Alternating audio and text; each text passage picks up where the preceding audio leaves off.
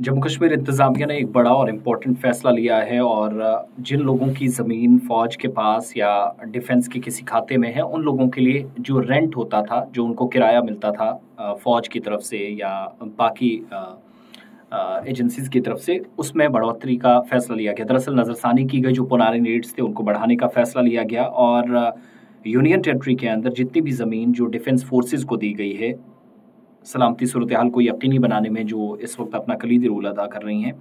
और 2018 फरवरी के महीने से ये लागू हो जाएँगी, यानी इंतज़ामिया ने जब मंजूरी दी तो तब से अब तक ये सारा किराया, उससे पहले तक जो लेते थे वो पुराना, लेकिन रिवीजन के बाद जो नया किराया है, वो बढ़ाने का फैसला लिया गया है। और 15 फरवरी 2023 तक ये फैसला जो है वो 18 से शुरुआत होते हैं 15 फेब 2023 तक ये लिया गया है। डिफेंस मिनिस्ट्री ने भी बाबा तौर पर एक फ्रेमवर्क बनाया, एक प्लान तैयार किया। मैक्सिमम लोग आप जानते हैं, जम्मू कश्मीर में फ़ौज ने या सीआरपीएफ ने कहीं पर, पुलिस ने बाकी लोगों ने ज़मीन ली है। लेकिन जो डिफेंस फोर्सेस के पास है, उस पर चूँकि कई लोग रेंट लेते थे, कुछ को लेट जाकर मिलता था, लेकिन चूँकि मैक्सिमम लोगों के बागात भी हैं, कुछ लोगों की काश्तकारी की ज़मीन है तो क्लास एक के तहत जो इरीगेटेड लैंड थी, यानी जो काश्तकारी वाली ज़मीन थी, उसमें छः हज़ार सात सौ तिहत्तर रुपये पर कनाल जो पर एनम है, वो देने का फैसला लिया गया है। सड़सठ सौ तिरानवे रुपये पर कनाल। इसके अलावा इरीगेटेड डबल क्रॉप लैंड है। ठीक वही जिसमें आप एक तरह से कई लोगों के ज़रिए मुआश यही ज़मीन बनती है या जिनके पास वो ज़मीन थी।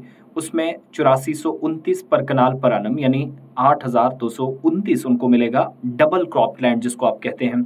और जहाँ पर आप कई लोग ऐसे होते हैं कि पाँच छः महीने के लिए ज़मीन छोड़ दी, फिर पाँच छः महीने काश्तकारी की, लेकिन मैक्सिमम लोग जो हैं वो बारह के बारह महीने करते हैं और मुतबादिल तरीकाकार अपनाते हैं और मुतबादिल फ़सलें उगाते हैं। तो उन्होंने वैसी अगर कोई ज़मीन दी है, उनको आठ हज़ार प्लस देने का फैसला। क्लास टू में इरीगेटेड ज़मीन रेवेन्यू डिपार्टमेंट के मुताबिक छियासठ सौ रुपये पर कनाल पर अनम उनको मिलेगा। जो रजिस्टर्ड लैंड है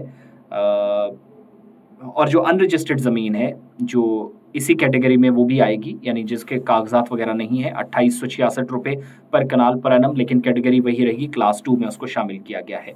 क्लास थ्री में अनकल्टिवेबल लैंड डिफेंस फोर्सेस के पास है, अट्ठारह सौ पैंतालीस रुपये पर कनाल मिलेंगे, यह नया किराया होगा 2018 से जो लागू करने का फैसला लिया गया है।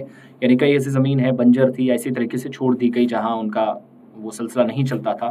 फ्रूट बियरिंग ऑर्चर्ड्स जो बागात थे, जहाँ पर फल वगैरह लगता था, उनका बीस हज़ार छः सौ पच्चीस रुपये पर कनाल मिलेगा रेवेन्यू डिपार्टमेंट के मुताबिक। इसी तरीके से म्यूनसिपल कॉरपोरेशन श्रीनगर और जम्मू ने जो ज़मीन ली है वहाँ पर भी जो कैंटोनमेंट एरियाज़ या इनकी जो ज़मीन आती थी कैंटोनमेंट एरियाज़ में, या इन बड़े इदारों ने वो ज़मीन संभाली थी, आप स्टेट लैंड या सरकारी ज़मीन भी कह लीजिए, वो तकरीबन उनहत्तर हज़ार छः सौ नौ रुपये पर कैनाल पर एनम होगा।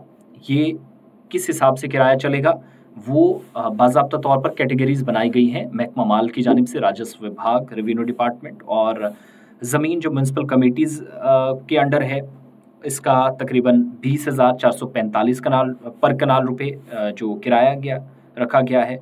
और ज़मीन का किराया जो इस्तेमाल की गई है अलग अलग कैटेगरीज़ में, खसूसियात वहाँ की क्या थी? यानी क्या वो कल्टिवेटेड लैंड थी, डबल क्रॉप लैंड थी, या फिर अनकल्टिवेबल लैंड थी जहाँ पर कुछ नहीं उगता था, जम्मू कश्मीर के अंदर जहाँ पर फोर्सेज इस वक्त हैं? तो उन सारी चीज़ों पर गौर वौज इंतज़ामिया ने किया, जिसके बाद ये नए सिरे से चीज़ें शुरू या दुरुस्त करने का एक फ़ैसला लिया गया, जिसके मुताबिक आज काम हुआ है। तो ये इंतज़ामिया का बड़ा फैसला है। अपने अपने इलाकों में राजस्व विभाग या डिपार्टमेंट से भी आप जानकारी ले सकते हैं। या रेवेन्यू डिपार्टमेंट का जो ऑर्डर है, वो उनके ऑफिशियल वेबसाइट पर भी, वहाँ पर भी जाकर आपको तफसलत मिल सकती हैं। जिन लोगों के बागात हैं, जिनकी काश्तकारी वाली ज़मीन है, बगैर काश्तकारी के, डबल जहाँ पर पूरा बारह महीने जहाँ पर, यानी साल भर काश्तकारी होती थी, वो भी अपने हिसाब से काम कर सकते हैं।